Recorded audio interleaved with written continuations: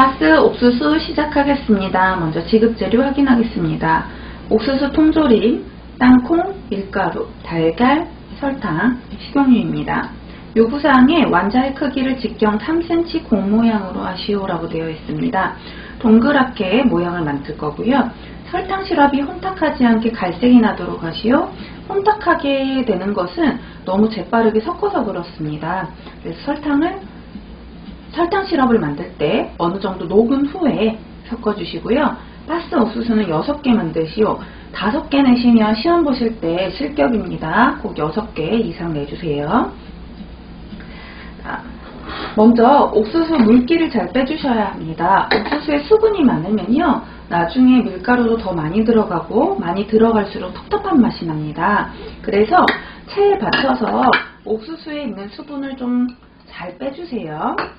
자, 그리고 땅콩은요. 시험 보실 때 지금처럼 껍질 벗긴 땅콩이 나올 수도 있지만 껍질 있는 게 나올 수도 있습니다. 껍질이 있다면 다 까서 껍질 벗기고 사용해 주세요.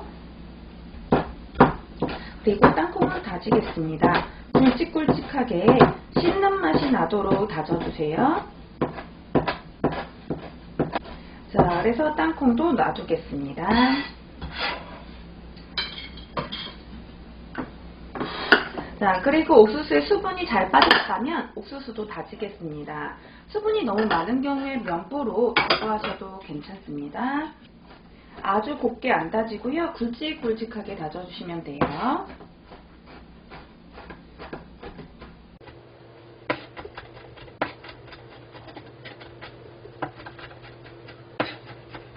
자, 다진 옥수수를 넣고 바로 반죽하겠습니다.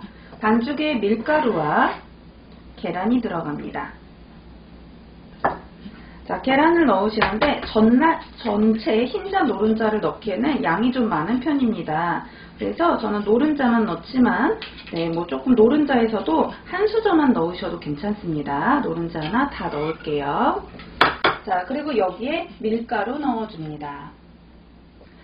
옥수수 물기 빼고 다져진 거예요. 계란 노른자 하나 넣었고요. 그 다음 밀가루 넣어줍니다.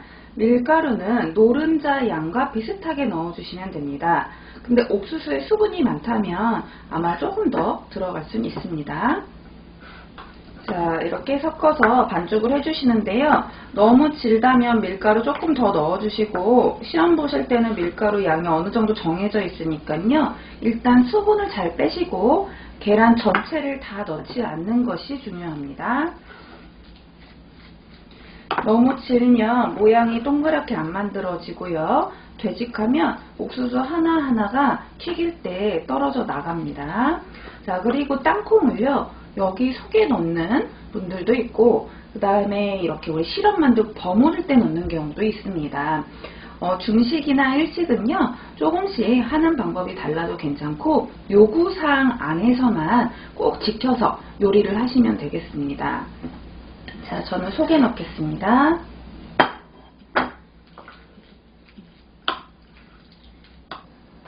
자, 그럼 튀김 준비를 한번 해보겠습니다. 옥수수는 다 익은 재료이기 때문에요. 밀가루만 익으면 됩니다. 그래서 낮은 온도 말고요. 보통 튀김 온도처럼 해주시면 되고 그 다음에 이거를 동그랗게 이렇게 빚어주셔도 되는데요. 조금 더 능숙하게 손에 기름을 묻히고 난자완스 할 때처럼요. 하나하나씩 빼면서 하시거나 아니면 수저를 이용해서 동글동글하게 모양을 잡아주셔도 괜찮습니다.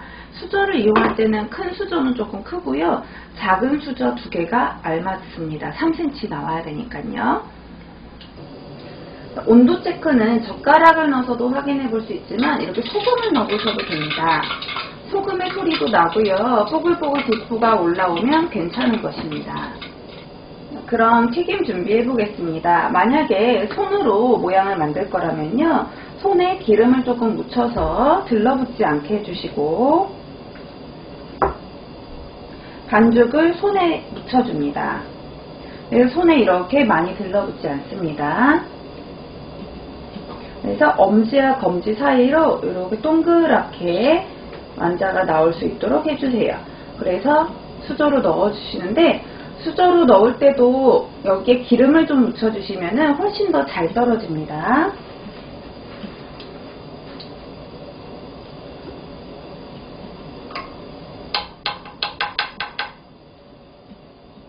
이러면서 완자가 3cm 지름이 나오게 만들어주세요.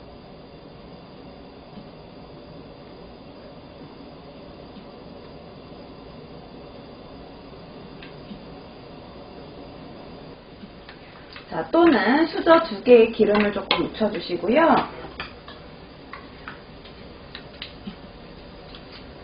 수저 두 개를 이용해서 동그란 구형의 3cm 완자 모양을 만들어줍니다. 그래서 이렇게 수저로 밀어주세요. 저 크기는 동일하게 6개가 나오게 합니다. 먼저 들어가서요. 익은 것은 이렇게 떠오르면서 색깔이 변합니다. 그럼 꺼내서 놔두겠습니다.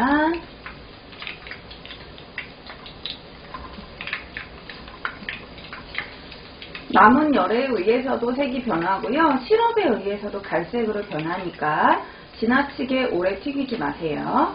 근데 속이 또 밀가루가 안 익으면 떨어질 수 있습니다.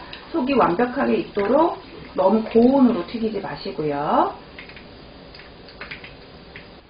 자, 그러면 이제 시럽을 한번 만들어 보겠습니다. 기름 한 큰술 정도에 설탕 3큰술 넣겠습니다.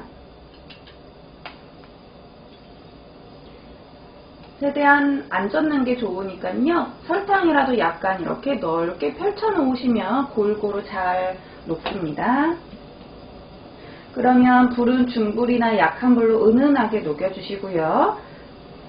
계속 처음부터 약불 하시면 시럽이 조금 오래 걸릴 수 있고요. 강불로 하시면 지나치게 탈 수 있으니까 녹는 상태를 보시면서 불 조절을 계속 해주셔야 합니다. 기다리는 동안에요. 그릇에 기름을 좀 묻혀 놓겠습니다.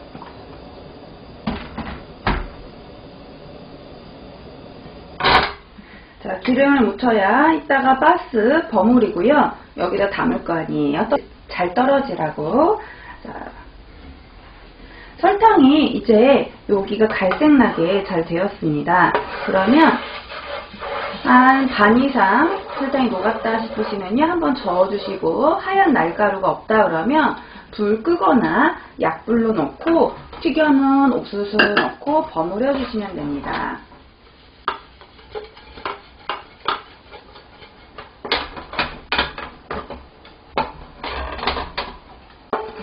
골고루 윤기나게 버무려 주시고요. 안 묻는 곳 없도록 해주세요.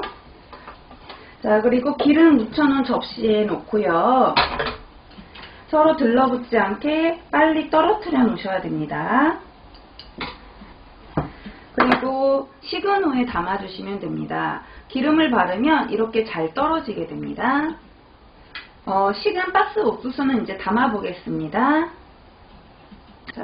자, 잘된 박스 옥수수나 박스 고구마는요, 겉에가 이런 시럽 때문에요, 단단한 느낌이 나고요, 윤기가 적으로 나옵니다. 자, 박스 옥수수 완성되었습니다.